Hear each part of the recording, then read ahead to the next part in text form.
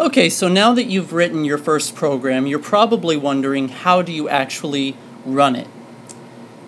So, in order to run a program, you have to first of all obtain what is called an interpreter or a compiler for the given programming language that you are using.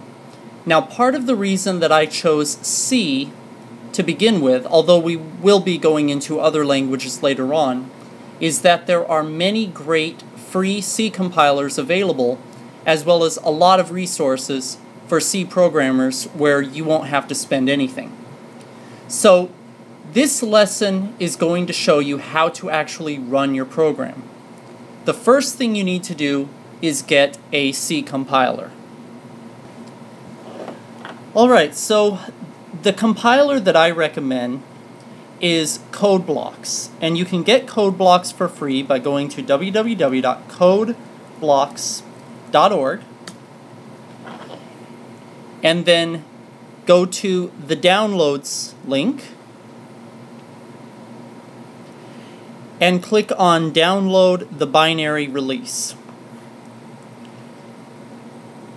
Then simply choose the appropriate operating system and keep in mind that you will want the version of CodeBlocks that includes Ming W.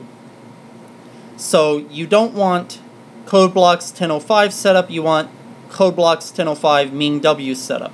Of course, when you watch this video, it could be much later than when I made this video and the version numbers could change, but you want the version that has MinGW included.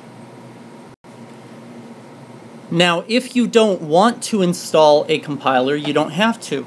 You can go to the website codepad.org and you can actually write a program right into that website. So, for example, notice that I have the language C selected, and now I can actually just write out the program. I can write it out exactly like we just did. Oops.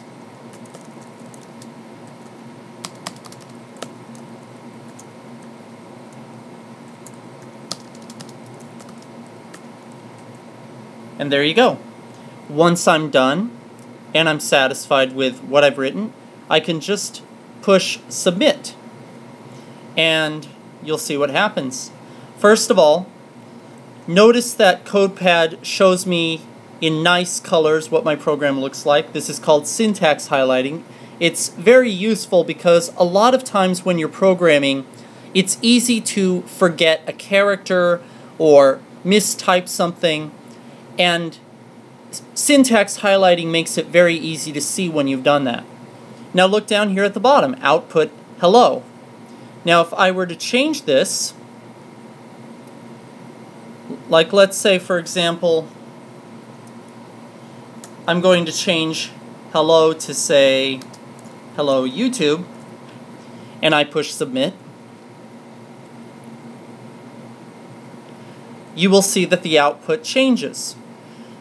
So CodePad is a great way to write quick programs without downloading a compiler. And if you want to run this same program on your computer all you have to do is download the compiler I showed you at CodeBlocks. And there are many other compilers too but I think you should start with that one. And then just put exactly what you see here inside of CodeBlocks and you can run it. And that's that's all there is to it. So at this point, you should be able to write a simple program that can print some text to the screen.